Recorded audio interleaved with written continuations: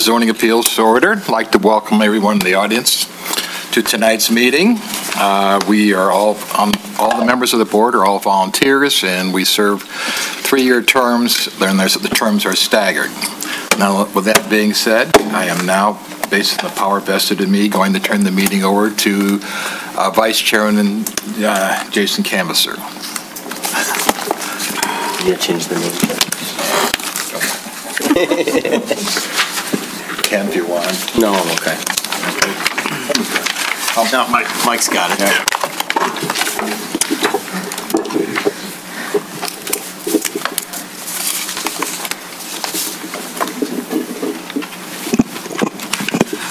Thank you. Good evening and welcome. Um, As Mr. Lilly said, uh, this is the regular monthly meeting of the BZA. BZA members or volunteers will receive no compensation. We are appointed by the City Commission for staggered three-year terms. Under uh, state statutes, the BZA hears three types of appeals, dimensional or non-use variance, and we have one of those tonight. Um, In a dimensional or non-use variance, uh, the appellant must show a practical difficulty uh, complying with the dimensional requirements of the ordinance. It requires four affirmative votes.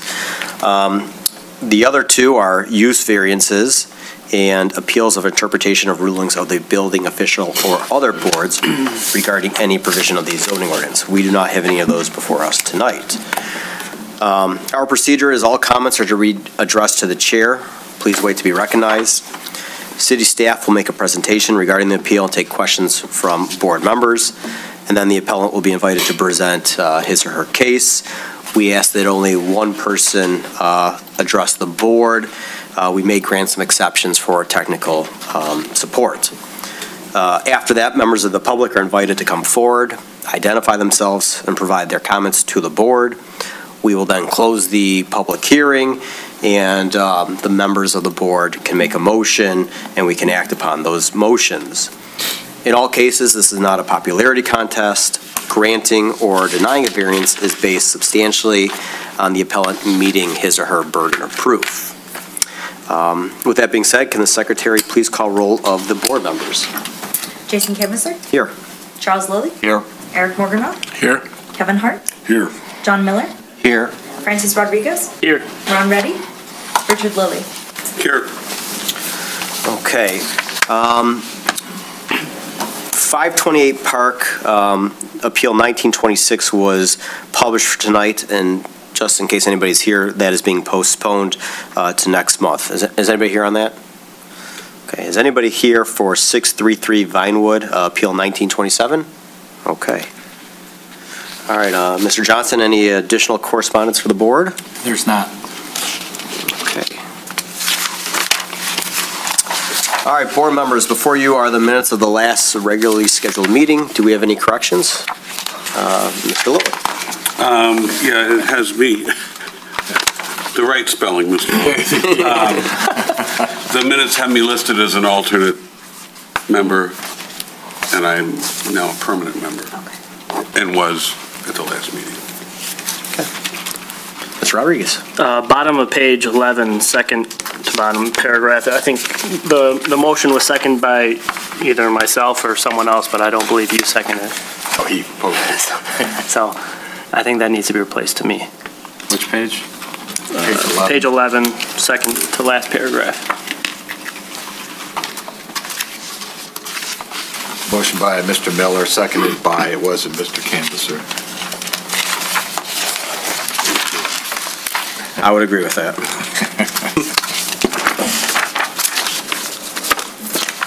We know who seconded that? I know I did, but I. Francis. Okay, all right, so that should be changed to Mis- to Mr. Fra- uh, Rodriguez.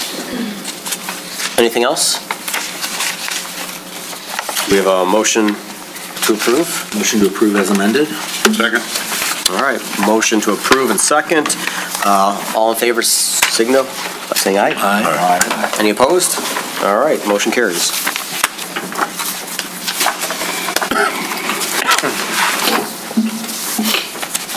All right, calling Appeal 1927 for the property located at 633 Vinewood. Mr. Zielke. Jeff Zielke with the City of Birmingham, here to present case 19-27. property known as 633 Vinewood.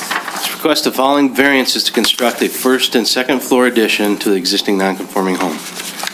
Chapter 126, Article 2, Section 2.08 of the zoning ordinance requires a minimum front yard setback be the average of the homes within 200 feet in each direction. The required front yard setback is 28.71 feet. The existing and proposed is 24.85 feet. Therefore, a variance of 3.86 feet is being requested.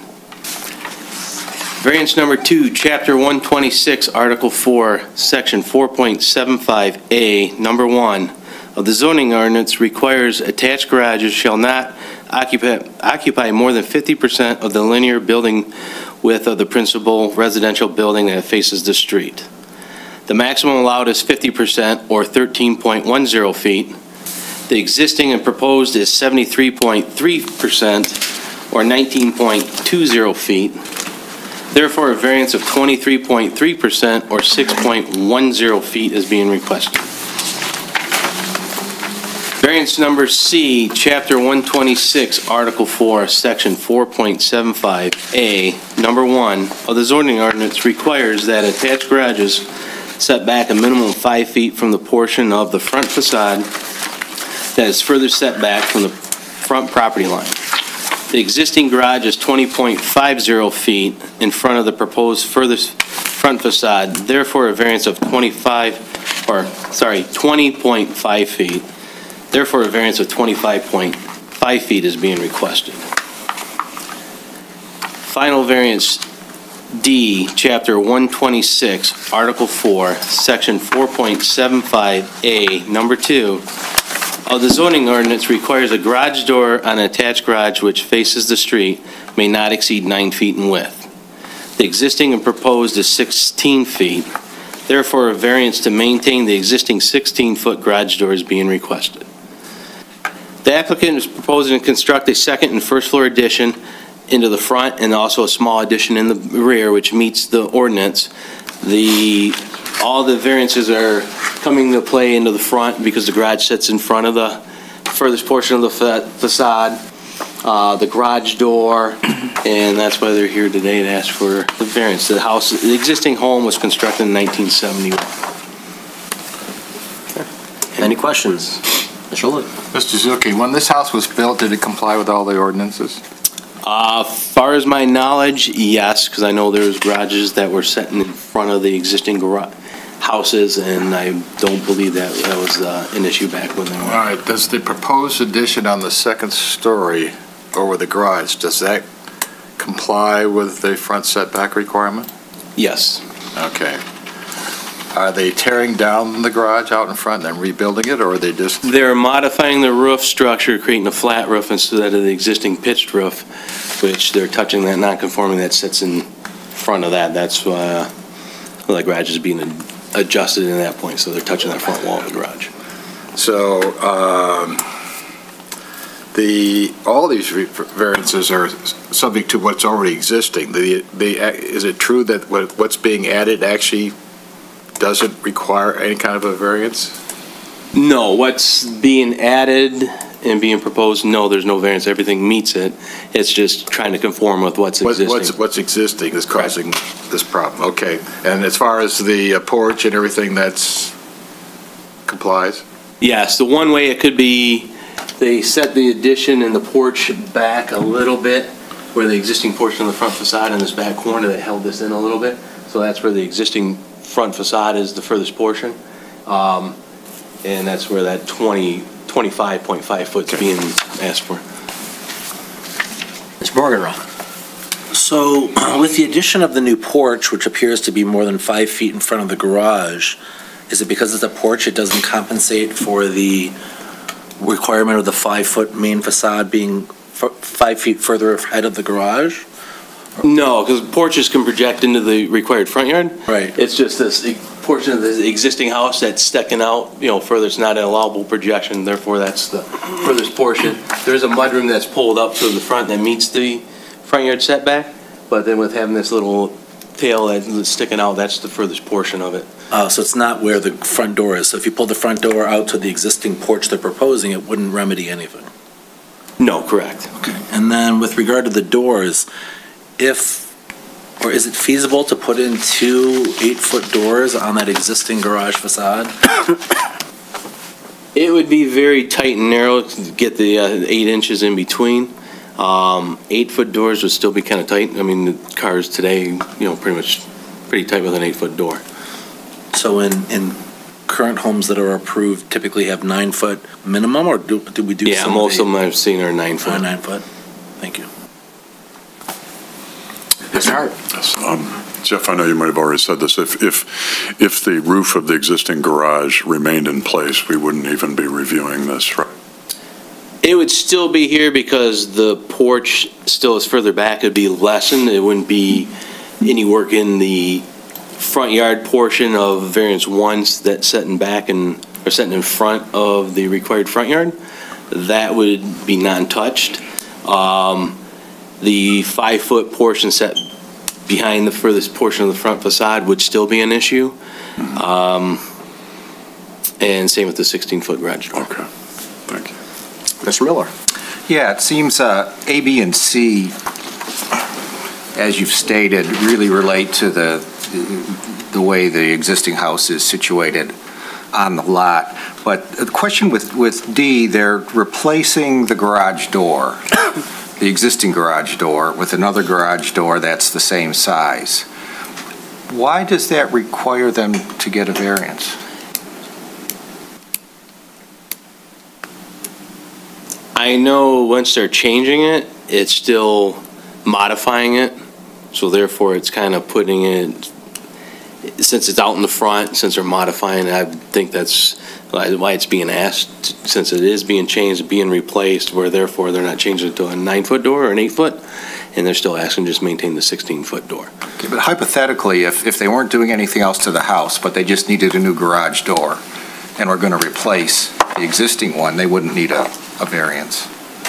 No, I don't think so. If they're Okay. just requ- request, or replacing existing like you just described, they wouldn't. But because of the addition and renovation that's proposed all around the existing non-conforming garage, it's So that necessary variance. drags it with the others. Okay, Yes. thank you. You're welcome.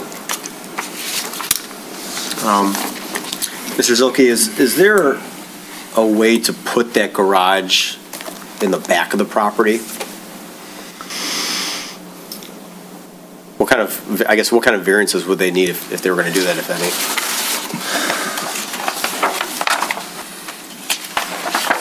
How would you get there?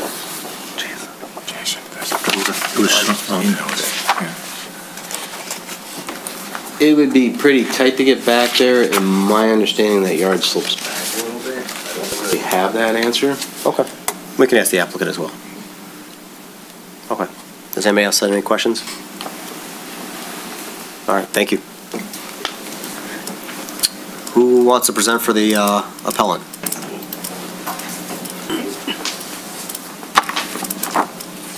Hello, I'm Valerie Schinkel. I'm here with my husband, Doug Schinkel, and our contractor, Mauro. Can answer any of the technical questions if you guys have them. So this is our house, 633 Vinewood. We purchased it a couple years ago in 2016, and from the first time we saw it, we fell in love with it. An architect lived there for 20 years before us, him and his wife. And for those 20 years, he pretty much designed every aspect of that house, down to like the cabinet, doorknobs, the inside and outside to make this crazy, unique living space that really fit us, and we love it. And there's just a ton of really cool design elements in it. The only thing that's not working for us right now is that it's really on the top floor. It's really just a one-bedroom master suite. So we're requesting this variance because we're looking to add two additional bedrooms on top. We need the space because we have people from out of town who come to see us. I'm from Indiana, when my family comes to see us, they don't really have a bedroom to stay in, and we're also looking for additional bedrooms for a growing family sometime in the hopefully soon future. We've looked at a lot of different design elements. Uh, We've looked at a couple different plans, and this one is really the most logical for us for a number of reasons. And like they said, like Jeff said, we know that um, everything that we want to add, it does exist, does conform with the requirements, but because it's on top of the garage, that's why we need this. So I guess we could just do like a quick tour of the house for the inside if you, or from the outside, start from the outside. Really what you see now is just that huge garage door and we understand that's like what is not wanted in Birmingham anymore.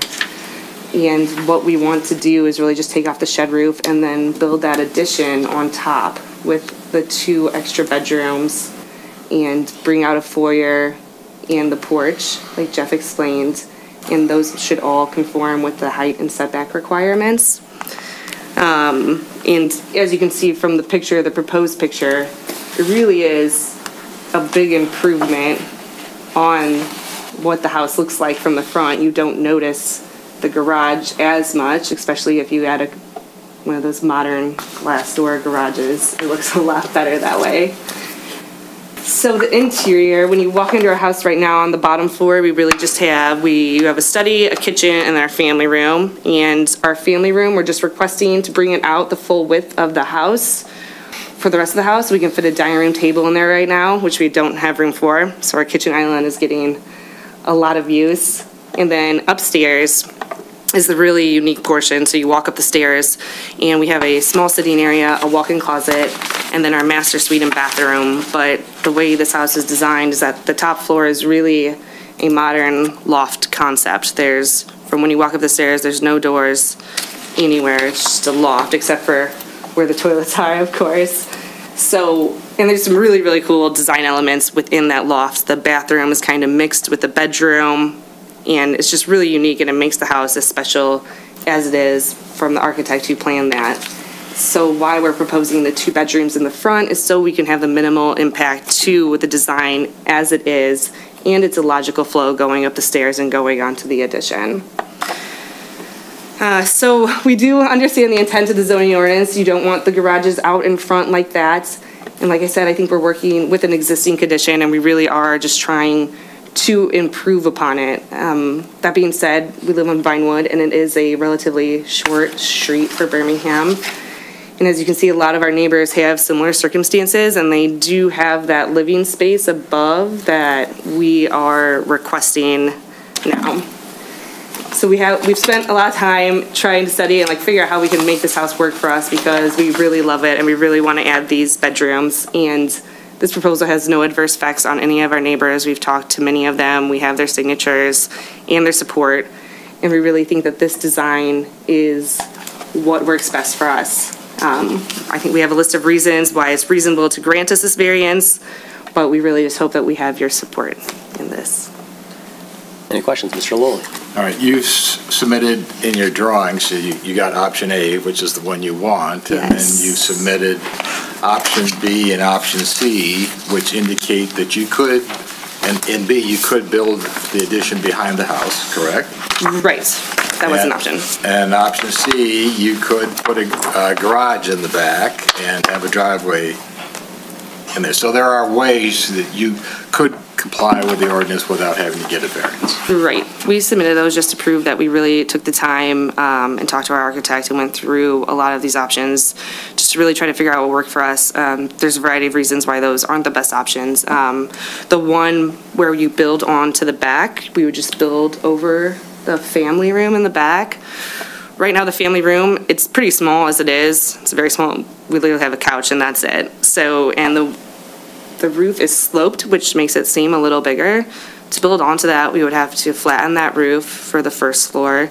And then also, our whole upstairs would be pretty much demolished and reconfigured. There's, unless we wanted to walk through the master suite to get to the additional bedrooms. And that, like I said, the upstairs, the design that he put into it and how it's all one big master suite is really what makes this house so special and why we love it so much, and we really did not, do not want to lose that part of it.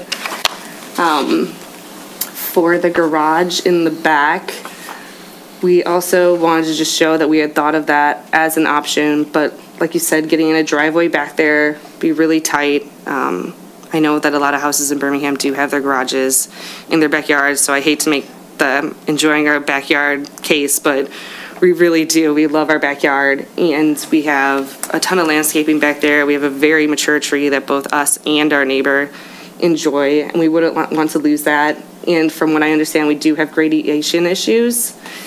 We would also be, the work that would go on the front, as I understand, we would have to bring the garage back and make that into an additional living space, which is just additional work and space and commitment that we aren't really looking for, that's not necessary for us.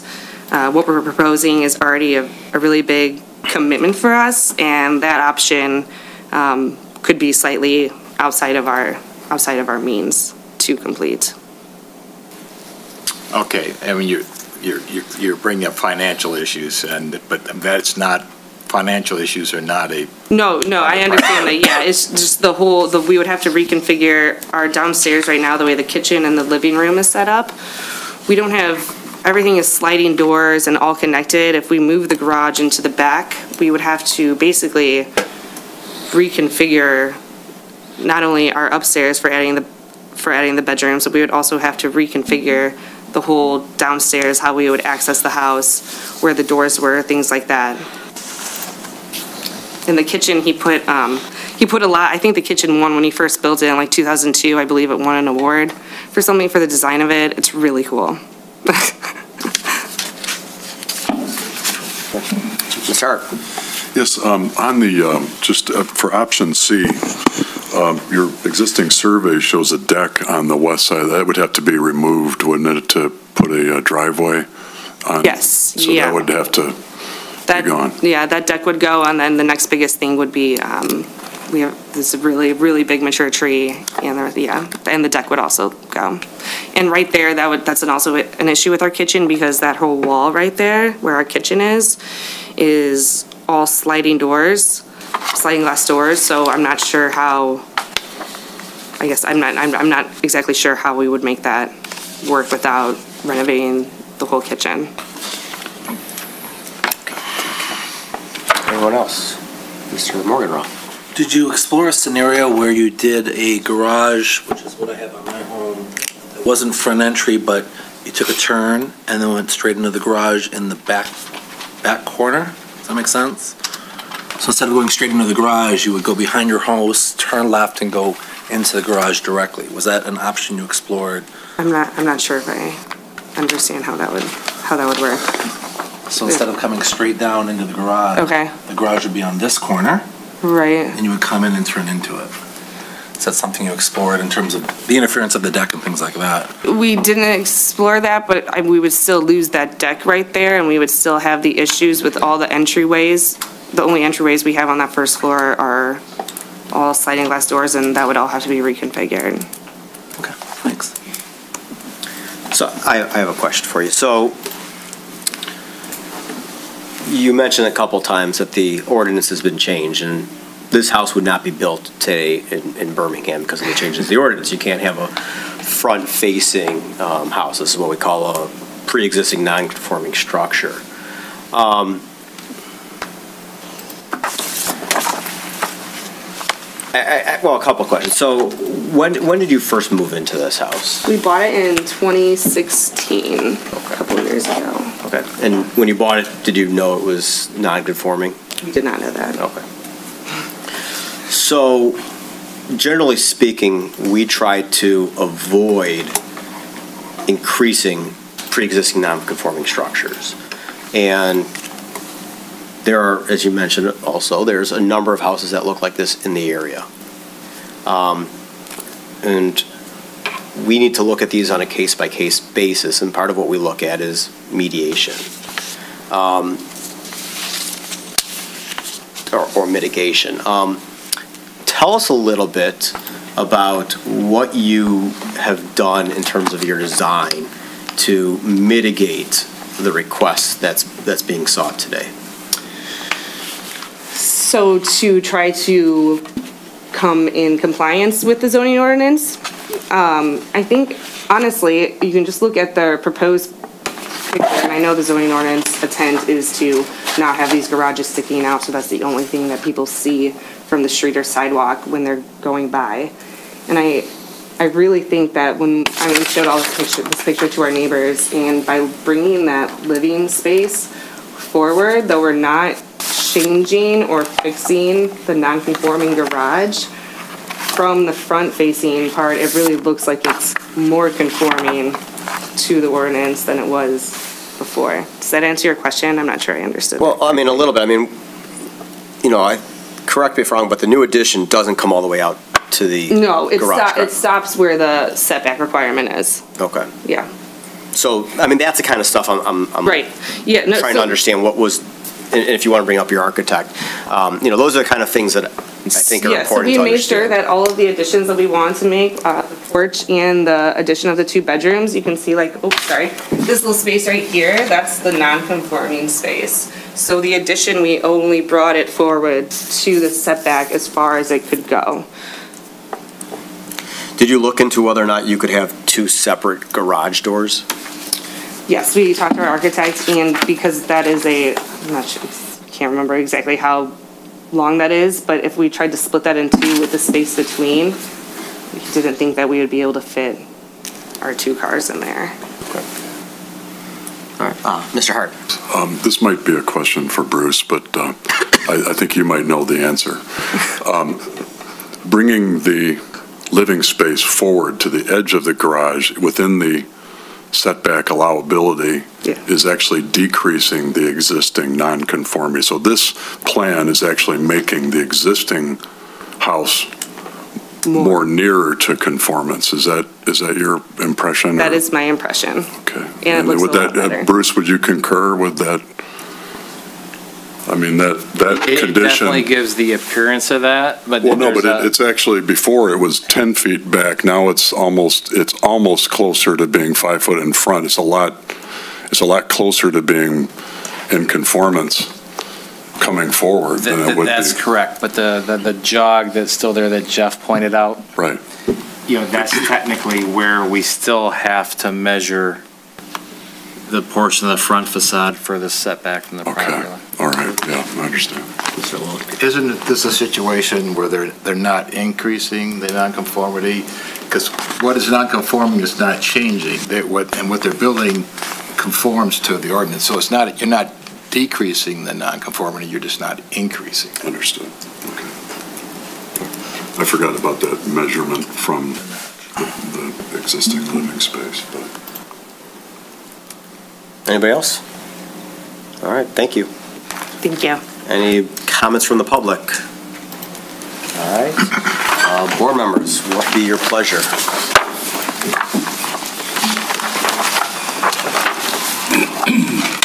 Mr. Lowell?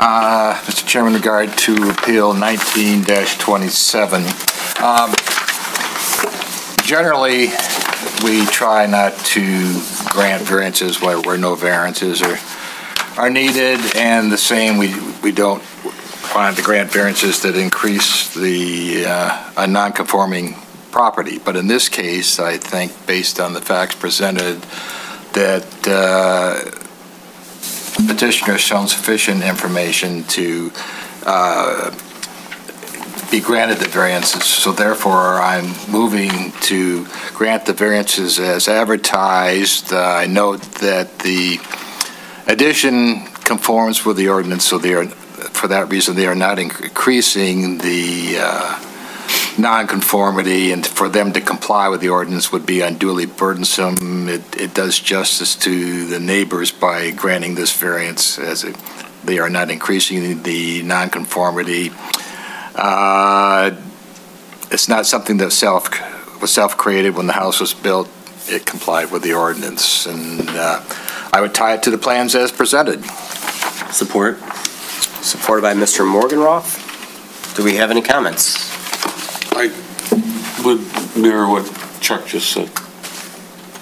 Mr. Rodriguez, excuse me. I'll also support the motion for the reasons stated, and just want to also comment that this was one of the best presentations, helpful um, to review, so thank you for that.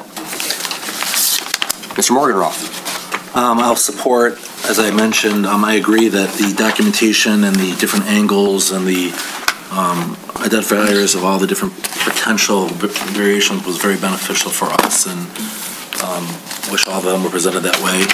Um, in some ways, I, I feel like since there are opportunities to do some of the things they wanted, it, it's difficult to look at this and say that, um, there aren't, it isn't kind of a gray area. I do agree that pulling that facade forward does make the existing non-conforming house seem to be a little bit more up to what the city of Birmingham is looking for, um, because you don't have the ability to modify the garage to achieve the uh, maximum nine-foot doors, I think that would be unduly burdensome, so for those reasons, I'll support the motion.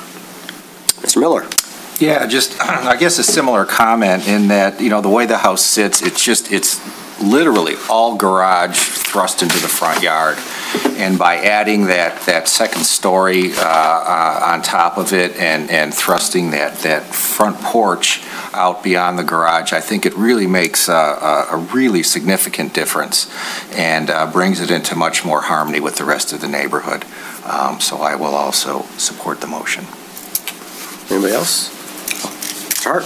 Yes, um, I will support the motion as well. Um, I think this is a classic example of, of the, uh, the law, the letter of the law and the spirit of the law. I think this meets the, the criteria, the spirit of the law. It's really trying to accomplish what the ordinance is stating and trying to minimize the geometry of, of a massive garage. So I, um, I think it's a, a very uh, good presentation and uh, a very good solution to a problem. I will also support the motion, but I do want to make it very clear that with these pre-existing non-conforming structures, we need to not, we need to be careful we're not setting a precedent that we're looking at these on a case-by-case basis. And um, I believe that's what we've done here. I believe we have a great presentation that shows very substantial mitigation efforts and substantial efforts to comply with the ordinance in all other respects. Um, But again, I would expect, given the type, given the number of houses in this area, we're going to see these come in front of us more often than not. And I just, again, want to make it clear that we're not setting a precedent, that we need to look at these by, on a case-by-case basis. But I do support this one. Anybody have anything else to say? All right, please call the uh, roll. Did we get a second? Yes, Mr. Morgan Roth. Oh, and I'm sorry, the motion is to grant the variances as advertised. Okay. Charles Lillie, Yes. Eric Morganroth? Yes. Francis Rodriguez, Yes. Richard Lilley, Yes. Jason Canvasser, Yes. Kevin Hart, Yes. John Miller. Yes. You have your variances. If you could uh, help us recycle and collect the papers, we'd appreciate that. Congratulations. They're all yours. Put them in the green barrel. We're saving trees too, not just ours. Thank you. Yeah, thank you.